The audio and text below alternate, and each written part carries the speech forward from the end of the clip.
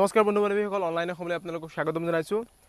আজি এই ভিডিঅ'টোত আছাম টেটৰ এল পি আৰু ইউ পি লেভেলৰ কাৰণে মেথছৰ কি কি প্ৰশ্ন আহিব পাৰে বা কেনেকুৱা ধৰণৰ প্ৰশ্ন আগত আহি গৈছে এই বিষয়ে আলোচনা কৰিম।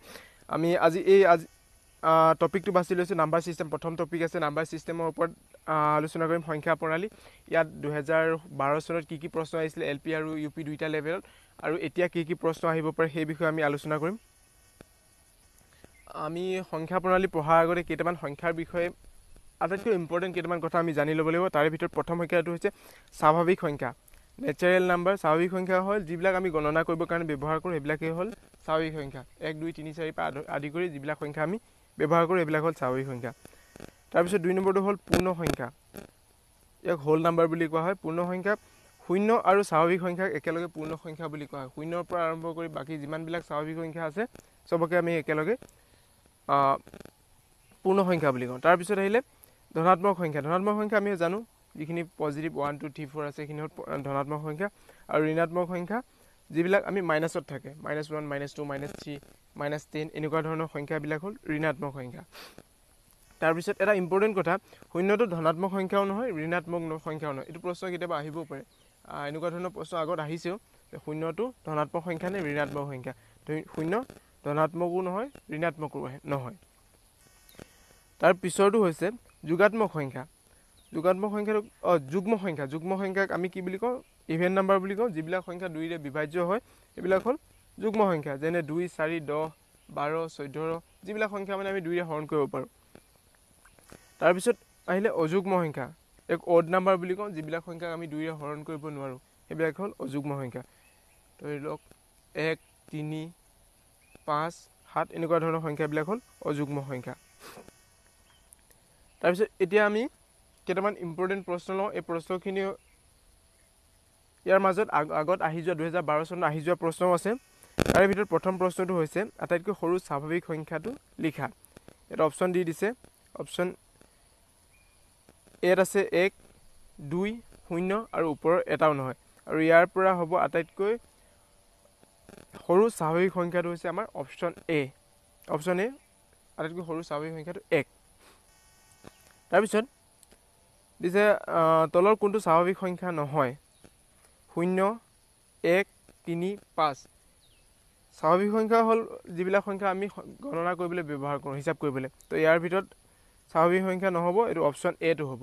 শূন্য শূন্যটো হ'ল পূৰ্ণ সংখ্যা।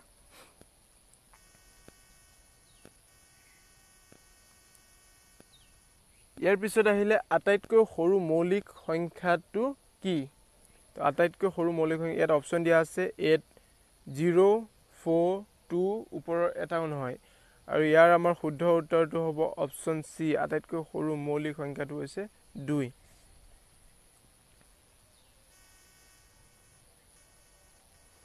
এই প্ৰশ্নটো পিছৰ প্ৰশ্নটো হৈছে প্ৰথম পাঁচটা মৌলিক সংখ্যাৰ যোগফল কোনটো? প্ৰথম পাঁচটাৰ মৌলিক সংখ্যাৰ যোগফল হ'ব। অপশ্যন এত দিছে টুৱেণ্টি এইট বিত ইলেভেন চি টুৱেণ্টি ছিক্স আৰু ডিত ওপৰৰ এটাও নহয়। আৰু ইয়াৰ শুদ্ধ উত্তৰটো হ'ব অপশ্যন এ টুৱেণ্টি এইট। আৰু এই প্ৰশ্নৰ উত্তৰটো হ'ব টুৱেণ্টি এইট। আমি এইখিনিতে মৌলিক সংখ্যাৰ বিষয়ে অকণমান জানি লওঁ। মৌলিক সংখ্যা হ'ল যিবিলাক সংখ্যাৰ উৎপাদক এক আৰু সংখ্যাটো নিজেই। অৰ্থাৎ আমি সংখ্যাটোক বেলেগ সংখ্যাৰে আমি হৰণ কৰিব নোৱাৰোঁ। তেনেকুৱা ধৰণৰ সংখ্যাবিলাকক আমি মৌলিক সংখ্যা বুলি কওঁ। এতিয়া তিনি তিনিটোক আমি তিনি এগুণ তিনি তাতকৈ আৰু আমি সৰু কৰিব নোৱাৰোঁ। ধৰি লওক পাঁচ পাঁচ এগুণ পাঁচ এইবিলাক হ'ল মৌলিক সংখ্যা। তেনেকৈ আছে সাত। সাত এগুণ সাত সাত আৰু এক পূৰণ কৰিহে আমি সাত পাব পাৰোঁ। আৰু বেলেগ সংখ্যা আৰু বেলেগভাৱে আমি সাত পাব নোৱাৰোঁ। আৰু তেনেকুৱা ধৰণৰ সংখ্যাবিলাকে হ'ল মৌলিক সংখ্যা। আৰু আমি যদি নটোক চাওঁ নটোক আমি এক পূৰণ ন কৰি ন পাব পাৰোঁ।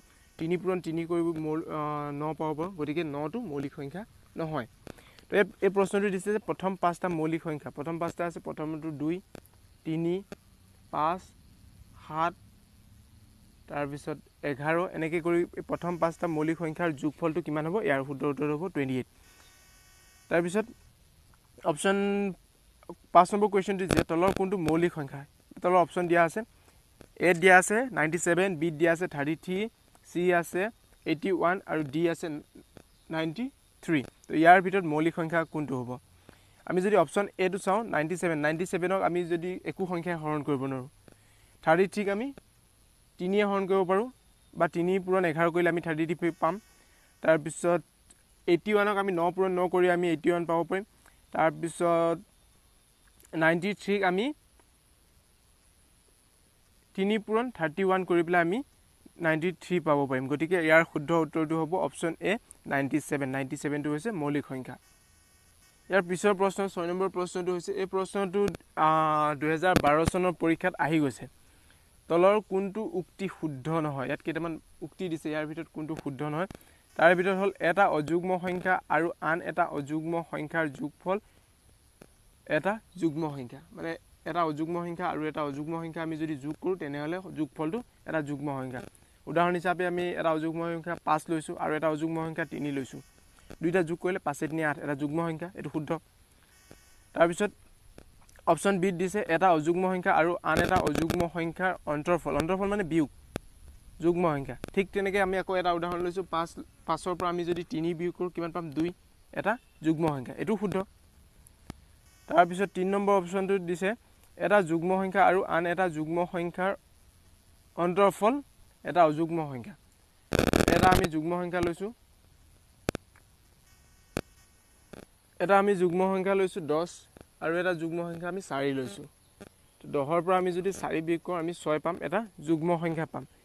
ইয়াত কি দিছে? এইটো অপশ্যন চি এইটো এইটো অশুদ্ধ। তাৰপিছত অপশ্যন ডি দিছে দুটা অযুগ্ম সংখ্যাৰ পূৰণফল এটা যুগ্ম সংখ্যা দুটা অযুগ্ম সংখ্যাৰ ধৰি লওক দুটা অযুগ্ম সংখ্যা আমি তিনি লৈছোঁ আৰু পাঁচ লৈছোঁ। এই দুইটা যদি পূৰণ কৰোঁ আমি পোন্ধৰ পাম। এটা অযুগ এইটো শুদ্ধ। তো ইয়াৰ ভিতৰত অপশ্যন চিটো অশুদ্ধ। আৰু এই প্ৰশ্নটো ইয়াৰ আগৰ বছৰ যি আছাম টেট হৈ গৈছে তাত আহি গৈছে। তাৰপিছত এটা মৌলিক সংখ্যাৰ এটাৰ উৎপাদক হ'ল। অপশ্যন এ দিছে এ এটা বি দুটা চি তিনিটা ডি এটাও নহয়। এই প্ৰশ্নটো ইয়াৰ আগৰ বছৰ আহি গৈছে। আৰু ইয়াৰ শুদ্ধ উত্তৰটো হ'ব এটা মৌলিক সংখ্যাত দুটা উৎপাদক মাত্ৰ থাকে সংখ্যাটো নিজে আৰু এক। তো গতিকে ইয়াৰ অপশ্যন বিটো শুদ্ধ উত্তৰ হ'ব। আঠ নম্বৰ প্ৰশ্নটো এই প্ৰশ্নটো দুহেজাৰ বাৰ চনত আহি গৈছে। দুই তিনি পাঁচ ছয় এক সংখ্যাটো পাঁচৰ স্থানীয় মান। ইয়াত পাঁচটো কিমান সংখ্যকত আছে? পাঁচটো আছে একক দশক শতক শতকৰ স্থানত মানে শ। তো ইয়াৰ কাৰণে শুদ্ধ উত্তৰটো হ'ব অপশ্যন বি পাঁচশ। তাৰপিছত সকলোবিলাক ধনাত্মক সংখ্যা ঋণাত্মক সংখ্যা আৰু শূন্যক একেলগে কি বোলে? মানে যিডাল সংখ্যা ৰেখা আছে এই সংখ্যা ৰেখাডালৰ এফালে ধনাত্মকবিলাক থাকে এফালে ঋণাত্মকবিলাক থাকে মাজত শূন্য থাকে এই গোটেই সংখ্যাবিলাক একেলগে কি বুলি কোৱা হয়? তাৰ ইয়াত অপশ্যন দিছে বাস্তৱ সংখ্যা স্বাভাৱিক সংখ্যা পূৰ্ণ সংখ্যা অখণ্ড সংখ্যা। আৰু ইয়াৰ শুদ্ধ উত্তৰটো হ'ব অপশ্যন ডি অখণ্ড সংখ্যা।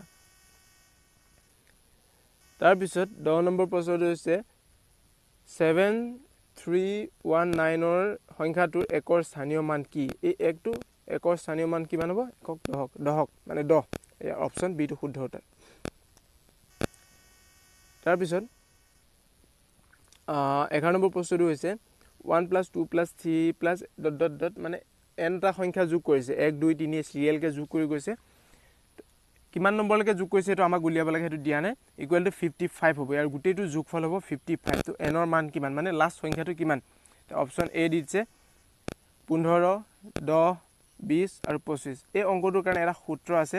সূত্ৰটো এনেকুৱা ধৰণৰ এছ এন ইকুৱেল টু মানে গোটেই সংখ্যাৰ যোগফল equal to N bracket N plus one by two তো এইটো যদি আমি কৰি চাওঁ এনেকুৱা ধৰণৰ পাম। এন এছ এনৰ ওপৰত আমি জেগাত যদি আমি fifty five বহুৱাওঁ N plus N N plus one divided by two তো আমি যদি ইয়াক